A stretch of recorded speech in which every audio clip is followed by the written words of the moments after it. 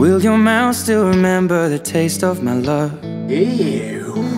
You're a fine piece of real estate, and I'm gonna get me some land. Ew. Wait, what?